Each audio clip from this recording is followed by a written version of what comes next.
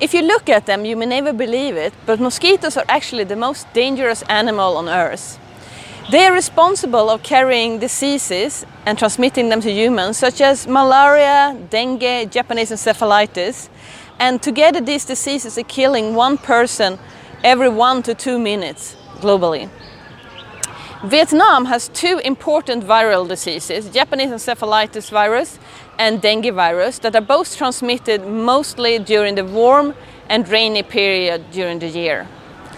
Japanese encephalitis virus is a disease causing severe neurological diseases and can even cause death. And these mosquitoes carrying it like to breed in large amounts of water, like rice fields, but they can also breed close to your home. The mosquitoes carrying dengue, which is uh, a disease causing fever and in many cases also death, these mosquitoes can breed almost anywhere, in any kind of water you have standing around your garden.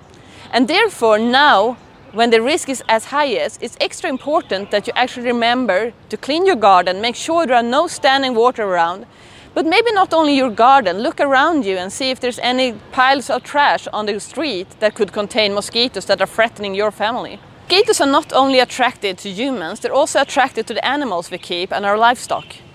Therefore, there might be increased risks of contracting some uh, mosquito-borne diseases if you live close to your livestock. Livestock can mean that you have more breeding grounds for mosquitoes, more water standing around, but it could also be that the mosquitoes are attracted to the animals per se, and therefore you get more mosquitoes around your house. This is one thing that we're trying to study in our projects to find out how you best can protect yourself when you're keeping livestock, but also how you can protect your livestock from getting infected. Mosquitoes are opportunistic species and they will often bite whichever animal is the closest to them, but they do have preferences. And we see that some mosquitoes, such as the one that most often carry Japanese encephalitis, they often prefer to bite pigs or other large animals, whereas the mosquitoes that transmit dengue often attack humans preferably.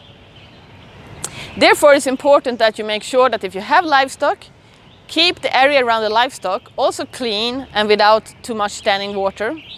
And you can also protect pigs or other livestock through large mosquito nets.